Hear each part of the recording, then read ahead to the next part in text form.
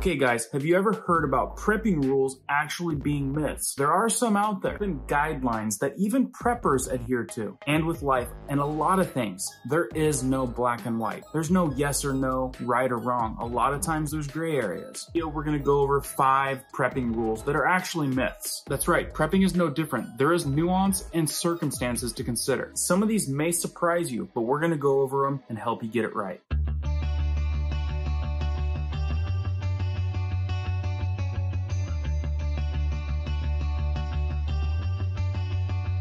Welcome back to all of our subscribers and thank you for watching. If you're brand new here, like news that affects you, emergency preparedness tips and how-tos weekly, be sure to hit that notification bell so you guys can stay up to date.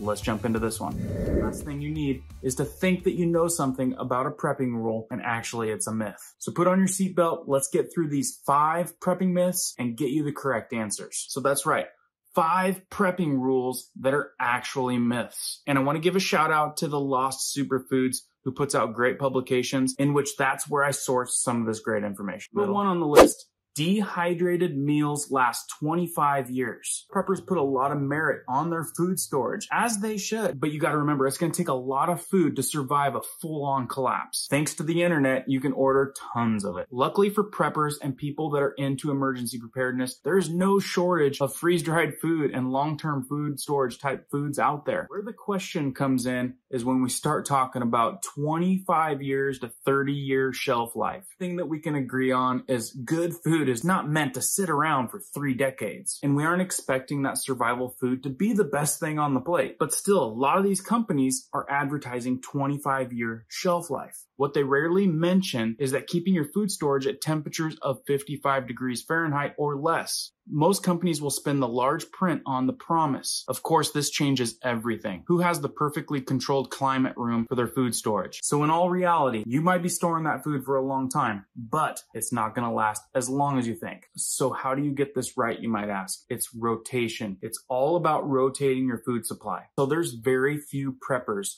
that can keep their food stored at a constant perfect temperature. You have to keep your preps constantly in rotation and eating what you're storing up. If you're going to be good at rotation, you need to be buying things that you're always going to be using and you need to be rotating them. If it's more short term, couple years to five years, and you think SHTF will happen, then you aren't going to really care what you're eating as long as you're eating. Use what you buy and rotate it. You find those sales on items, great use them, but only buy on the stuff on sale that you'll actually use if you actually want to be a master at this. So the myth is not all foods that say that they're going to last 25 years necessarily last 25 years and are good. Myth number two, bug out. One of the things that are just not thought through very well, making it one of the big myths of prepping is bug out, as it is a cornerstone for all preppers. Bugging out, getting away, getting out of dodge, getting out of harm's way in a hurry. But for most preppers, it's a myth. The thing is, is this term gets passed around loosely. Bug out, bug out bag.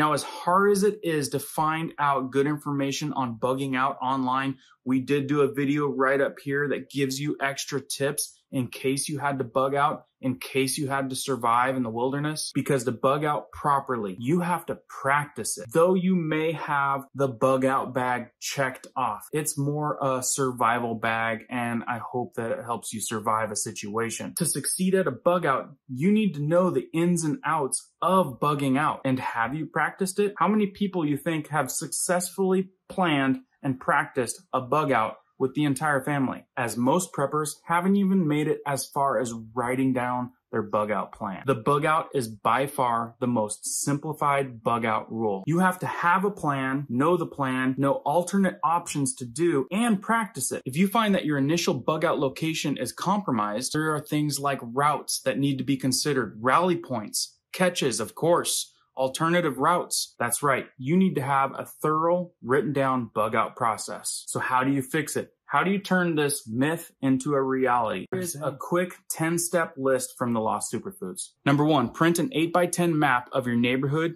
town, city, and your bug out location. Number two, looking at the maps, decide on two short, distant bug out areas you can travel five miles or less to escape danger. Number three, now seek out two locations that are 20 miles or more away from the mark and put marks on those on the map. Number four, plot your courses on these maps to each bug out location. Number five, notate food, water, and other resources along the way. Number six, notate locations to bury caches. Number seven, notate rally points. Number eight, place all this info into a binder. Number nine, put your bag on this weekend and go find a spot. Number 10, come home and start modifying your plan to deal with real world issues you can find on your treks. Moving on to number three, successful and sustainable foraging. Now, if you haven't gotten into foraging food, foraging food is a lot of fun.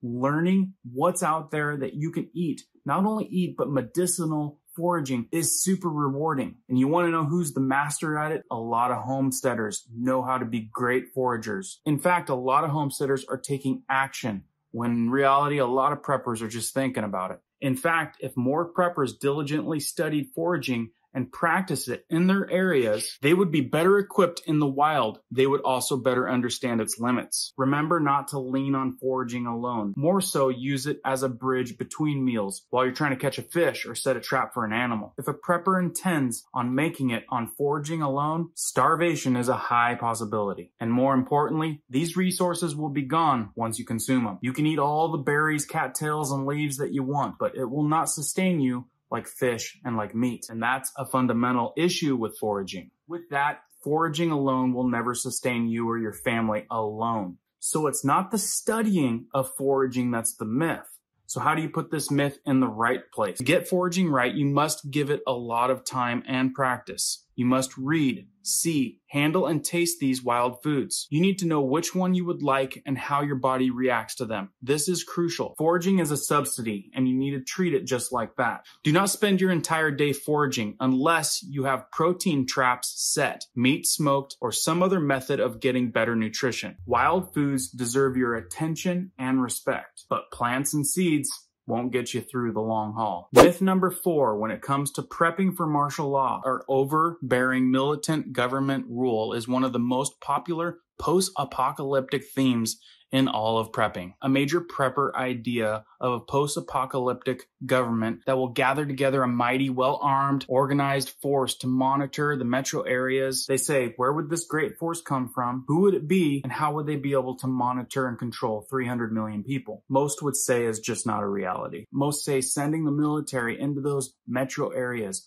or those neighborhoods to control the population, confiscate guns, install curfews, they say that would be just suicide, making nationwide martial law most probable a myth. There will be some semblance of law struggling to stay in power. This will be true of all locations. In this event, your family will be at risk. You will have individuals that have been given too much power or desperate people making decisions to keep order. Murder without justice is what I mean. Rather than preparing for nationwide martial law, you must be prepared to gather emergency intelligence using things like a police scanner or a shortwave radio. HD camera drones so that if you get your cues and find out that the police are disbanding, it's time to hit the road or head to one of those short-term bug out locations talked about earlier. Number five, tactical training. So no one person is a match for a armed gang of thugs, but most have a weakness that are not talked about on all forums online. And it's that you have a family. One way to look at it is as a fighting force engages a target, there are acceptable casualties. As a prepper, you do not have acceptable casualties. You have a wife, you have pets, you have kids, little Tommy, little Susie. You're not even going to want to lose your brother-in-law.